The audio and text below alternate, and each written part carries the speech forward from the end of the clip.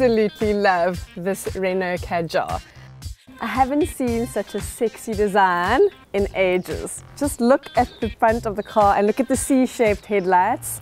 I've got a couple of weeks left till baby's due and this is the perfect family car. I'm so excited. The baby seat fits really securely into the car and the pram fits in perfectly in the boot. There's so much boot space. So I'm just off to the shops now to go and get some supplies for dog. They need a lot of help and obviously loads of supplies and food so I'm gonna help them out this month. I'm really in love with this car. It's, uh, it's also um, quite high off the ground, which I really, really like, um, particularly being so heavily pregnant. You know, sort of up high and you feel safe and of course it is a super safe car. It's got airbags everywhere. It just feels solid, you know, it feels like a, a really solid safe car and I can pretty much control everything from the steering wheel.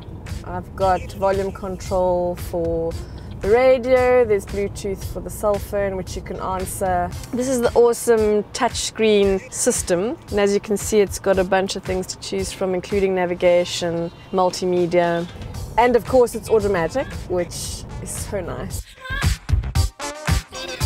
You mustn't forget the key and what's really cool is I don't even have to use the lock button on the actual key when I leave the car. I can just press the button. Voila, and it's locked. Thanks so much for your help. You're welcome. I really appreciate it. Here we are, dog. Okay, thank you very much. Come here. Come. Oh, you're beautiful. I'm gonna take them all home switch my car off with the button. I love that. Check this feature out. It floods the whole inside of the car with light. That's pretty cool. I absolutely love this Renault Kadjar.